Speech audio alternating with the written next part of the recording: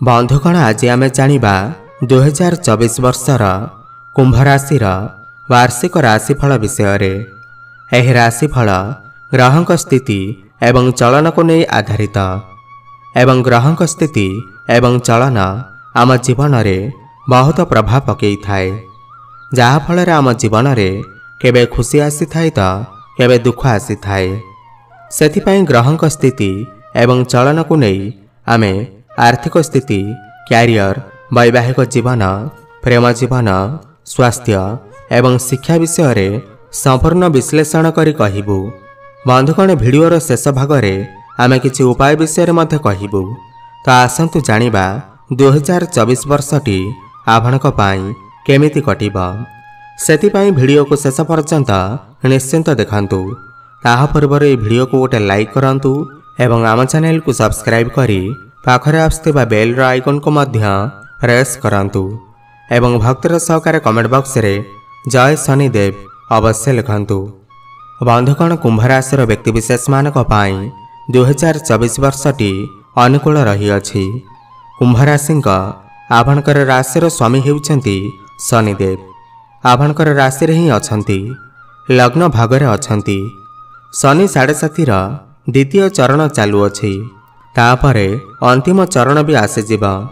ଦୁଇହଜାର ଚବିଶରେ ପୁରା ବର୍ଷ ଧରି ଶନି ଆପଣଙ୍କର ରାଶିରେ ଅର୍ଥାତ୍ କୁମ୍ଭ ରାଶିରେ ହିଁ ରହିବେ।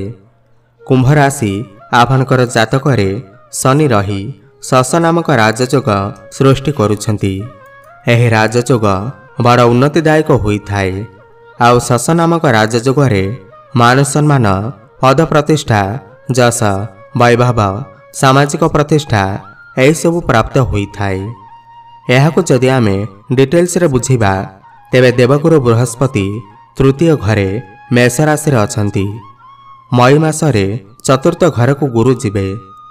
ରାହୁ ଏବଂ କେତୁଙ୍କର କୌଣସି ପରିବର୍ତ୍ତନ ହେବନି। ରାହୁ ପୁରା ବର୍ଷ ଆପଣଙ୍କର ଦ୍ୱାଦଶ ଘରେ ରହିବେ ଏବଂ କେତୁ ପୁରା ବର୍ଷ ଆପଣଙ୍କର ଷଷ୍ଠ ଭାବରେ ରହିବେ। ମେନ୍ ପରିବର୍ତ୍ତନ ହେଉଛି ଗୁରୁଙ୍କର। ପ୍ରଥମ ଚାରି ମାସ ତୃତୀୟ ଘରେ ରହିବେ।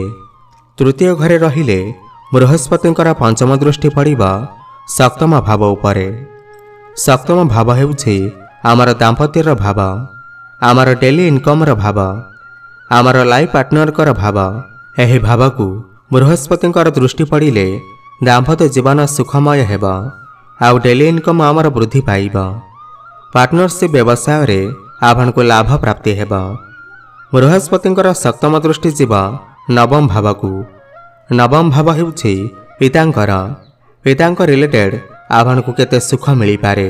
ପିତାଙ୍କର ସ୍ୱାସ୍ଥ୍ୟ କେତେ ଭଲ ରହିବ ଏହା ଆମେ ନବମ ଭାବରୁ ଜାଣିଥାଉ। ତେଣୁ ବୃହସ୍ପତିଙ୍କର ସପ୍ତମ ଦୃଷ୍ଟି ନବମ ଭାବକୁ ପଡ଼ୁଅଛି। ତେଣୁ ପିତାଙ୍କର ସ୍ୱାସ୍ଥ୍ୟ ଭଲ ରହିବ। ପିତାଙ୍କ ସହିତ ଯଦି ମତଭେଦ ଥିଲା ତାହା ମତ ଦୂର ହୋଇଯିବ। ଯଦି ଉଚ୍ଚ ଶିକ୍ଷା ପାଇବାକୁ ବହୁତ ଦିନରୁ ଇଚ୍ଛା କରୁଥିଲେ ତାହା ମଧ୍ୟ ଆପଣ କରିପାରିବେ। ଭଲ କଲେଜରେ ଭଲ ୟୁନିଭର୍ସିଟିରେ ଆପଣ ନାମ ଲେଖାଇ ପାରନ୍ତି। ତାପରେ ବୃହସ୍ପତିଙ୍କର ନବମ ଦୃଷ୍ଟି ପଡ଼ୁଛି ଆପଣଙ୍କର ଏକାଦଶ ଭାବ ଉପରେ। ଏକାଦଶ ଭାବ ଆମର ଇଚ୍ଛା ପୂର୍ତ୍ତିର ଘର। ଏକାଦଶ ଭାବରେ ବୃହସ୍ପତିଙ୍କର ଦୃଷ୍ଟି ପଡ଼ିଲେ ଆପଣଙ୍କର ଇଚ୍ଛା ପୂରଣ ହୋଇଥାଏ।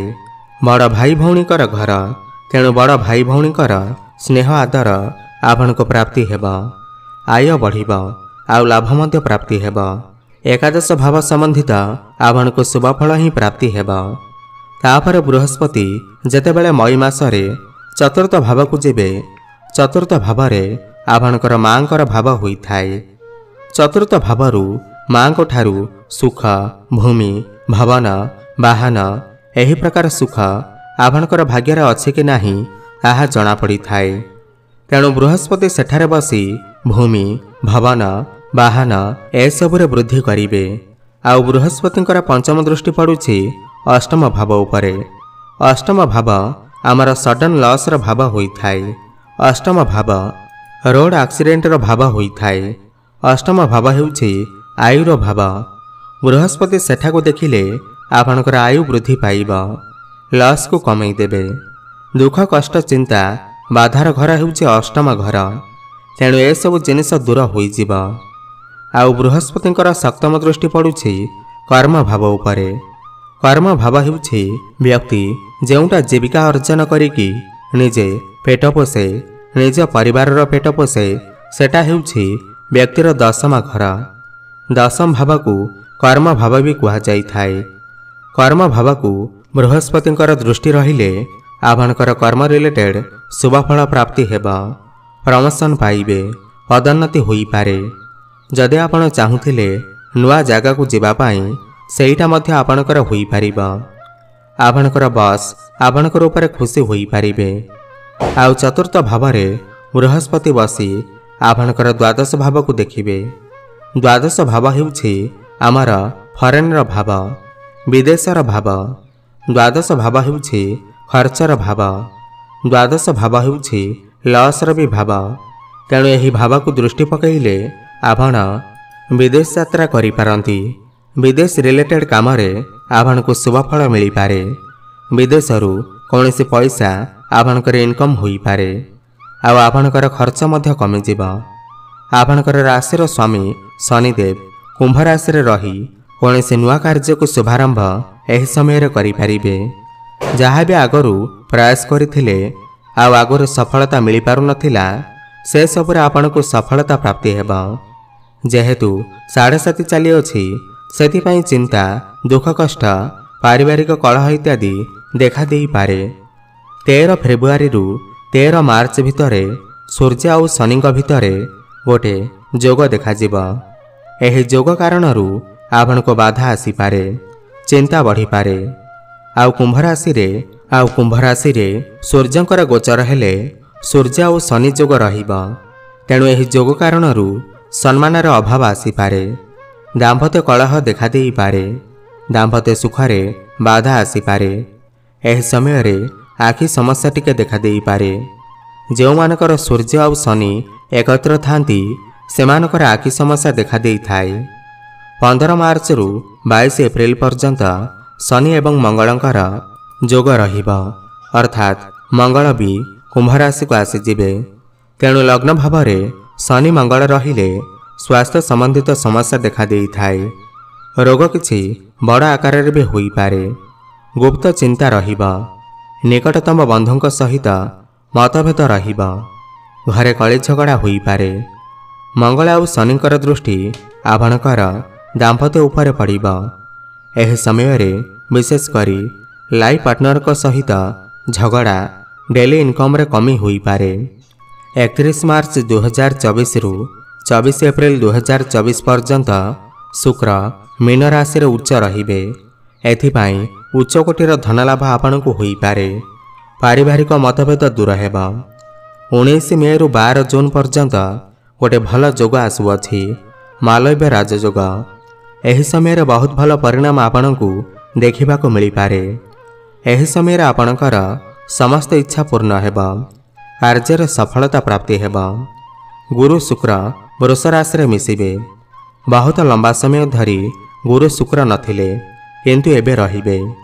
ଏଥିପାଇଁ ଜ୍ଞାନ ମାନ ସମ୍ମାନ ମାନ ପ୍ରତିଷ୍ଠା ସବୁ ବଢ଼ିବ।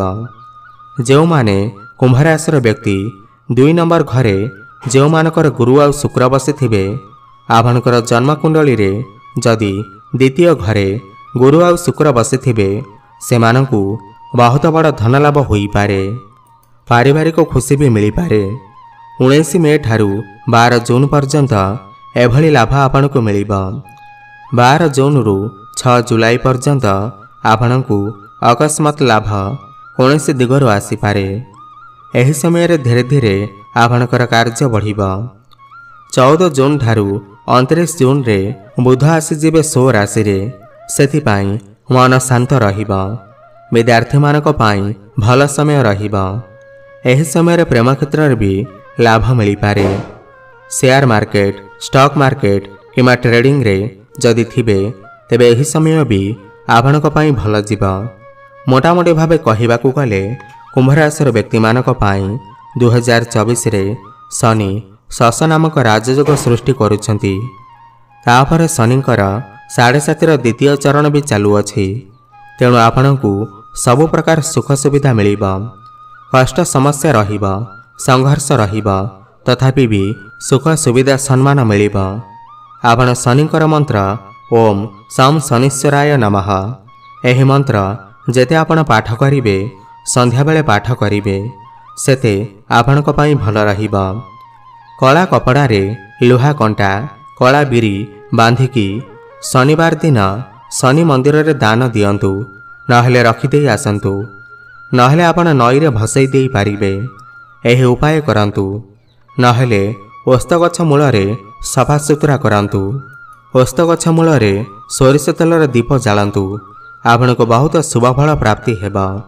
ତେବେ ବନ୍ଧୁଗଣ ଏହା ତ ଥିଲା କୁମ୍ଭ ରାଶିର ବ୍ୟକ୍ତିବିଶେଷମାନଙ୍କ ପାଇଁ ବର୍ଷ ଦୁଇହଜାର ଚବିଶ କିପରି ରହିବ?